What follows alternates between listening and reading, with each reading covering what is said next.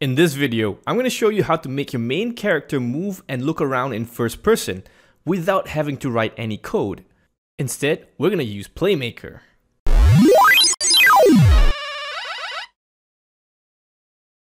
Hey guys, Adam here from Pixel Mystique. I make games and I help others to learn game dev. This is part 2 of my first person level design tutorial series. For the rest of the videos, check out the link above and in the description below. Now you might be wondering, what does a player controller and camera setup have anything to do with level design? The short answer is scale and proportions. For example, let's say you design a section of a level where there's a long hallway or a cave that you want to invoke a claustrophobic feeling. You make a block out of the level, or a grey box as some people call it, and try to draft it out. But then you have to wait for the programmer to get the player character ready. And after that long wait, you start importing the player character into the game engine that you're using and walk around. Maybe you find that the ceiling is a bit too high and you don't get that claustrophobic effect anymore.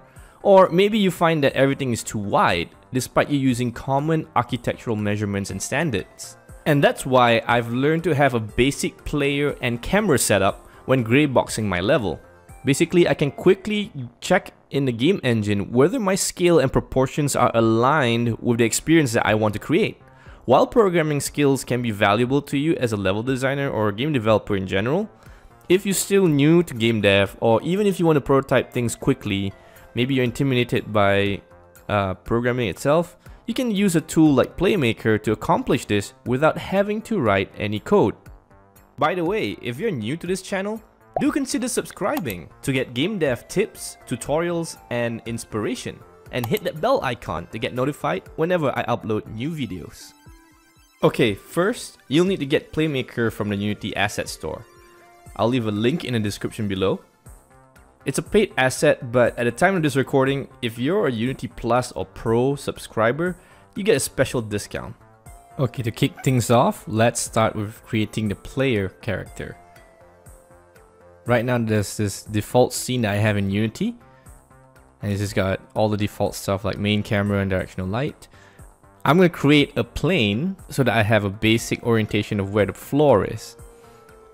And I'm just going to reset that to 000. Just another best practice that I like to follow.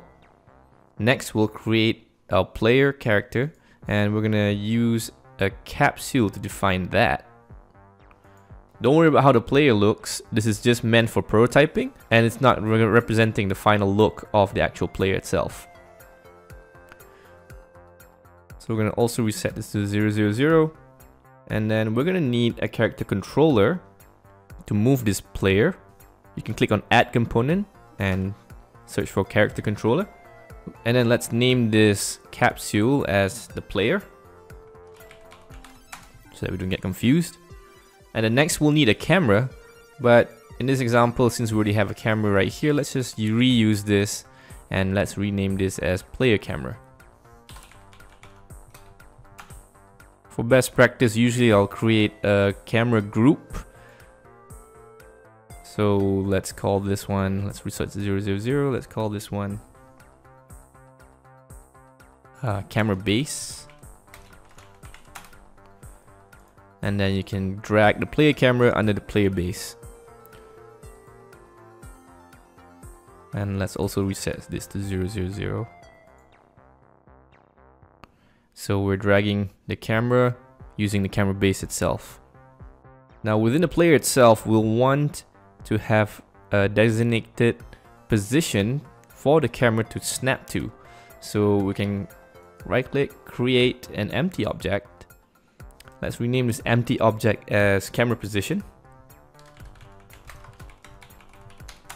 So this gives the camera a place to snap. I'm going to use Playmaker's script or FSM to make that happen. I can just position this properly. Somewhere around here where the camera would be. And while I edit, let's just position the player to be above the plane. Looks good. One more thing that we might need is a place for the camera to look at when we're using the mouse. So we're gonna create another empty object. And we're gonna call this player look at.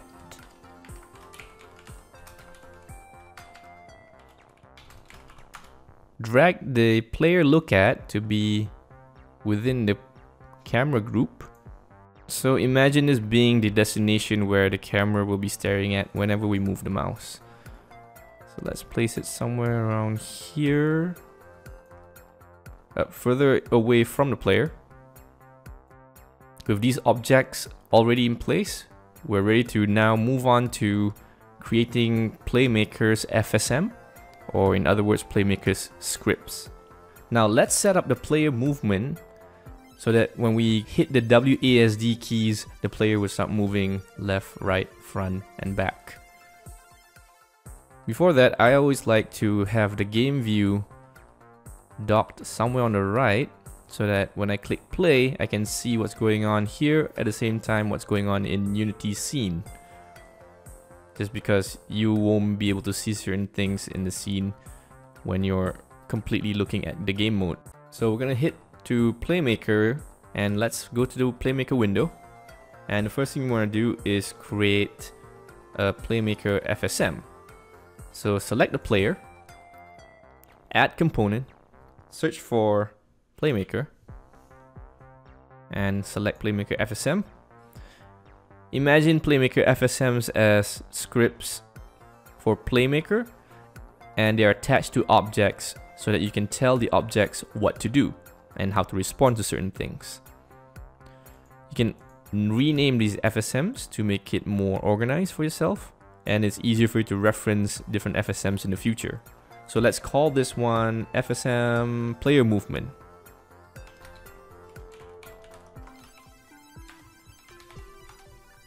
Now if you look at the Playmaker window itself, it says right click to add FSM, but we already done that.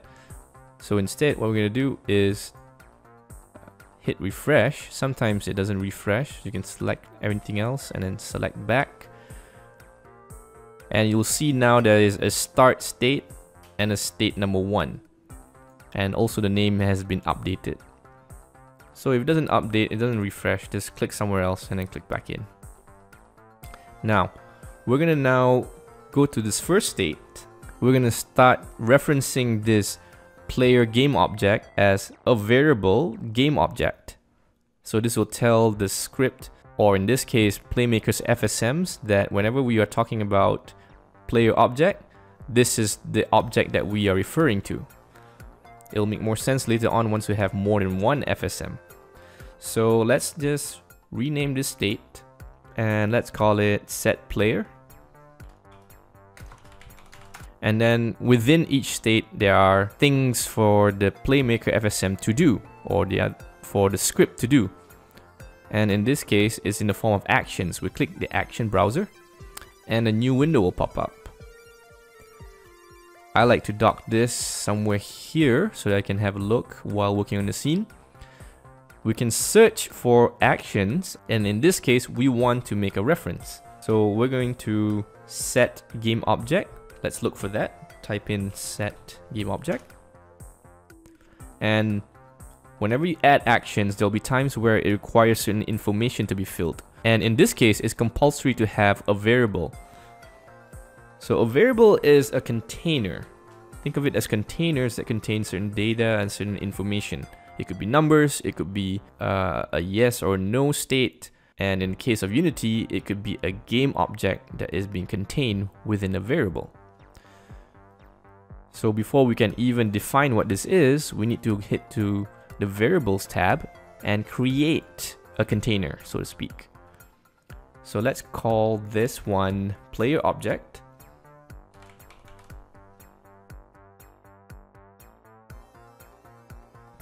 Variable type will be game object. Click enter or add. and then we hit back to the state tab and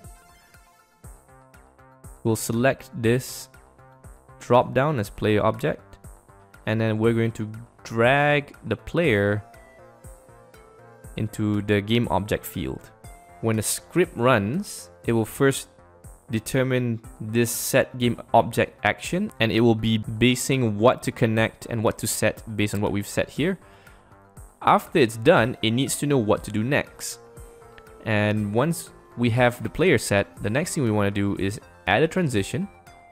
In this case, once it's finished, once these actions are finished, we want it to transition to another state. So we'll right click, add a state, and we want this to be the movement state. So let's call this movement.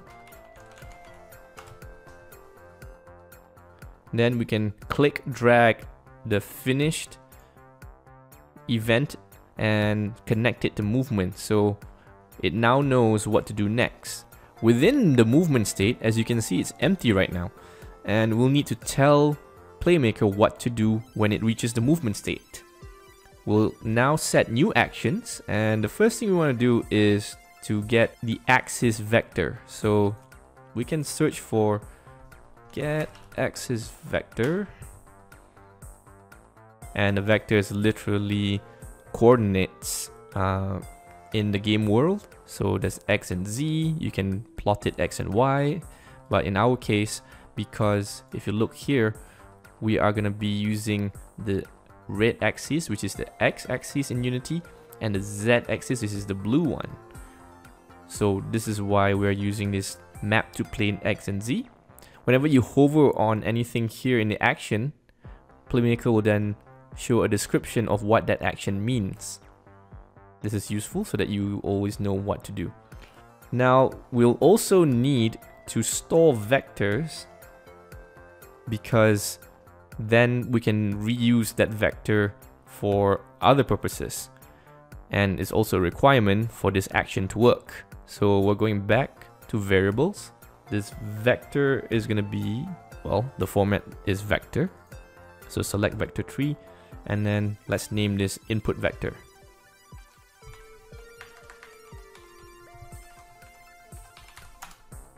Now we go back to our get axis action. We now can select none, which is the previous default state. And since we have a new variable called input vector, we want to tell Playmaker to reference that variable. We'll also need to set relative to something so that when we're moving, it's relative to the camera. So, oops, we can click drag the player camera and set it relative to that. You might need magnitude in the future, but right now I'm just going to ignore this field and let's set up the next action instead. The next action would be controller simple move. And again, there's a warning. We need to do certain things before we can use this action. We are going to reference the same variable, input vector.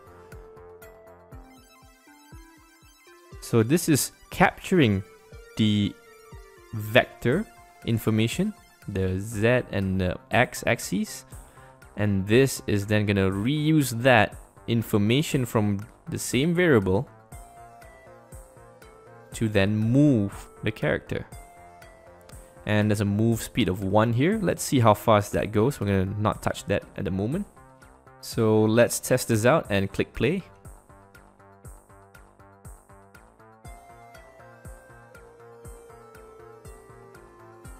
And as you can see the player is moving rather slowly but it is moving when we move around the mouse it does not look and it does not turn that's because we haven't set the FSM for the camera and mouse movement itself so right now we've only set the WASD keyboard movements and that will move the character left, right, front and back only.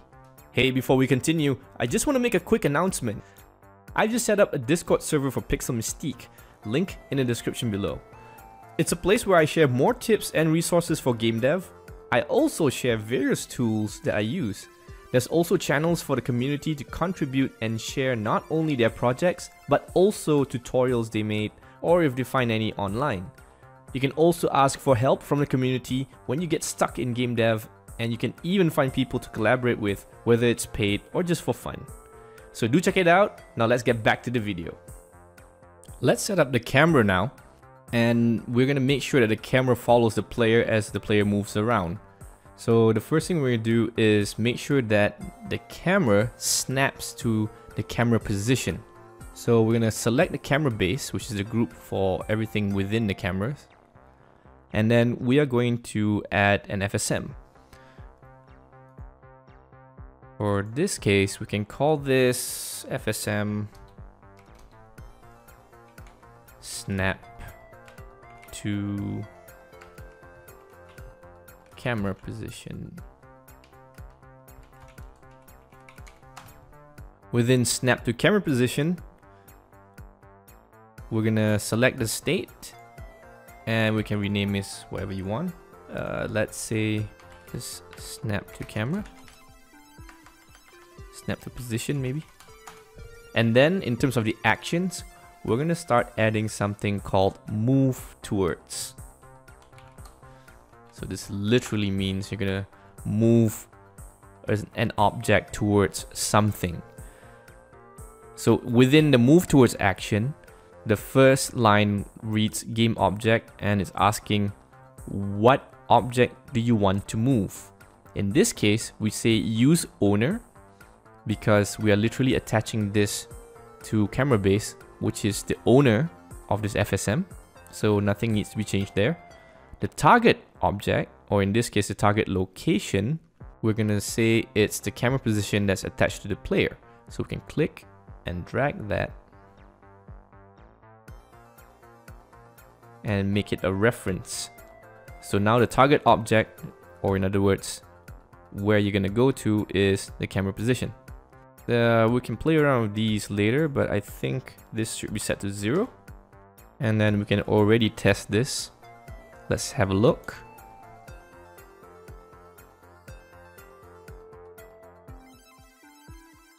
Yep, already the camera is attached to the player as the player is moving. Player movement is very slow. I'm going to adjust that. Let's hit back to the player. Let's change the speed to maybe 5. That's a little bit better, but still very fast. And also, if you notice, there's no movement when we move the mouse in terms of turning the camera around. That's because we need another FSM to make sure that the camera looks at something, which is why we had this player look at empty game object earlier. To make the camera move around, we're going to have another action added to the player itself. Let's look for look at action.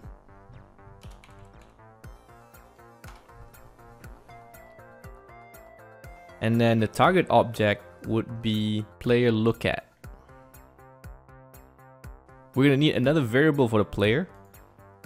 And this is going to be magnitude and it's going to be a float and let's call it input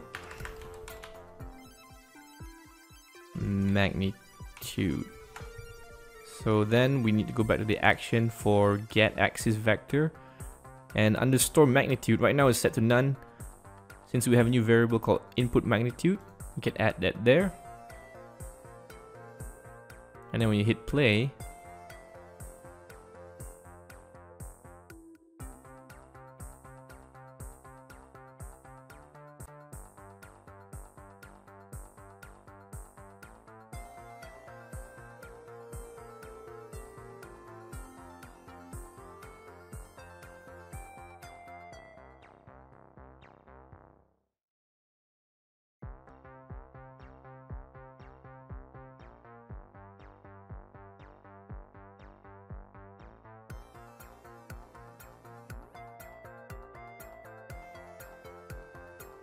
Next thing we're to do is go to player camera.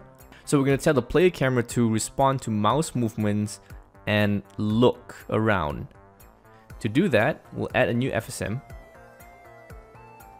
Let's call this camera look.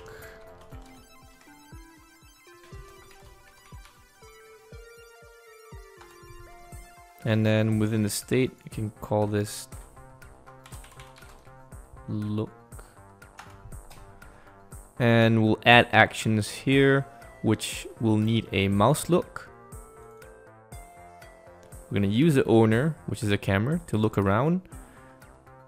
And maybe let's play with the sensitivity, maybe tone it down. Or, nah, let's just hit play and see what happens.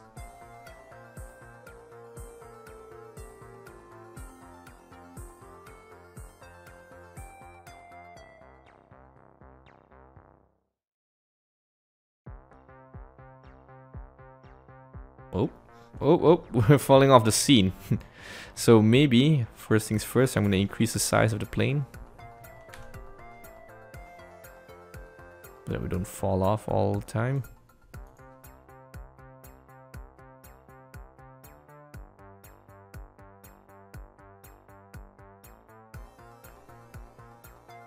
When we look around, you can see our own shadow. And right now the mouse look is inverted, but other than that, I think we're nearly there.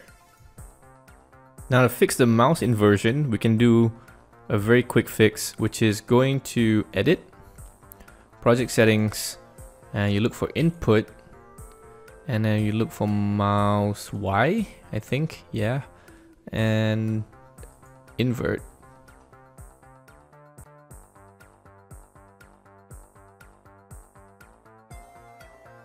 Let's move this a little bit bigger.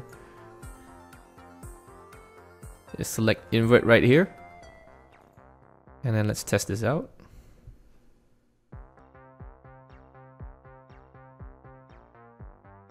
Uh, and now the mouse is no longer inverted. You can move around, you can look around, you can play around with sensitivity, it's still a bit too much. Let's tone it down Let's bring it down to 5.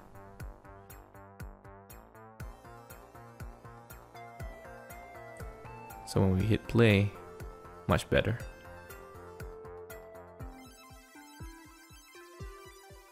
We now have implemented using Playmaker a first-person player controller with a camera setup. If you enjoyed this video, hit that like button and consider subscribing for more game dev tips, tutorials, and inspiration. Thanks for watching, have a nice day. Special thanks to my Patreon supporters. It is due to their generosity that I'm able to make more games and more videos like this one.